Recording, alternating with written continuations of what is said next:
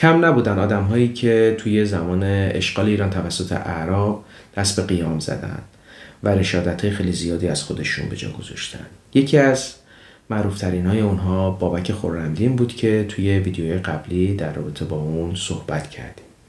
اما یک نفری که خیلی زیاد اسمش توی فضای مجازی برده نشده و واقعا میشه در رابطه با اون هم مطالب زیادی رو گفت و از رشادتاش اسم برد مازیار بوده. این ویدیو رو اختصاص دادیم به مازیار یا همون مازیار تبرستان تا حق اون آدم رو هم ادا کنیم. امیدوارم که از این ویدیو خوشتون بیاد.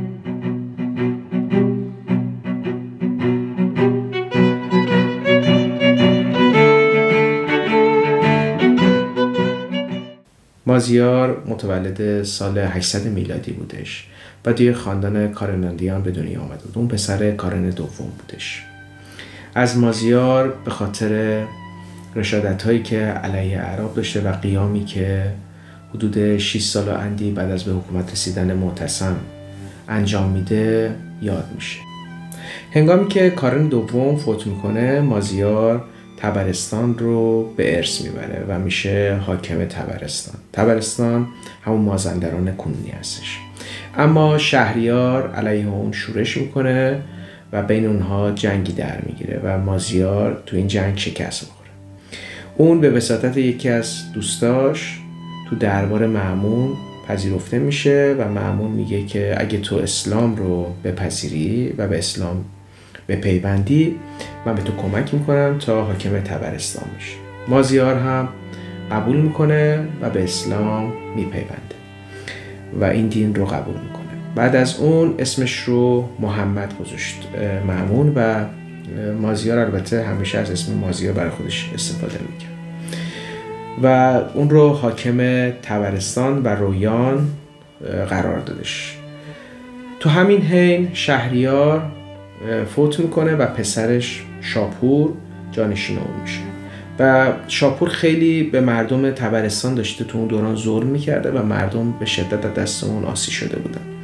به خاطر همین کار مازیار سخت نبوده که بتونه دوباره تبرستان رو پس بگیره و موفق میشه که دوباره بشه حاکم تبرستان. اما این بار به عنوان مازیار مسلمون شده و تحت امر معمون به مرور زمان مازیار قدرتش توی تبرستان زیاد میشه و شروع می‌کنه به کارهای خودسر انجام دادن.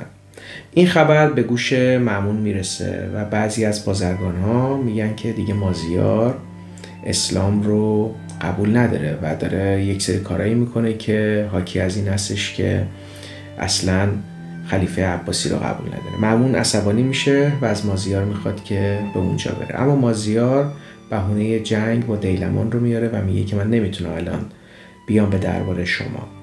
و یک گروهی رو جای خودش میفرسته. این منوال میگذره تا معمون میمیره و بعد از اون معتصم میشه در واقع خلیفه بعدی.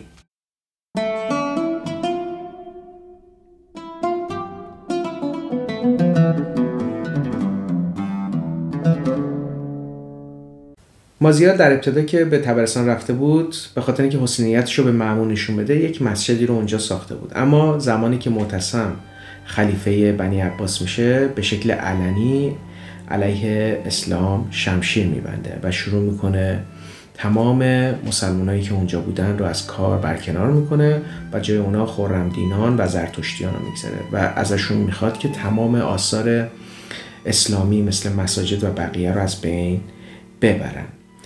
این دیگه قابل تحمل نبوده برای متصم و دیگه مثل بابک خورمدین مازیار هم جزء شورشیان و قیام کننده ها بوده اونا تصمیم گرفته بودن که همراه بابک و افشین که البته افشین به بابک خورمدین می‌دونیم که خیانت کرد توی ویدیو بابک دیدیم.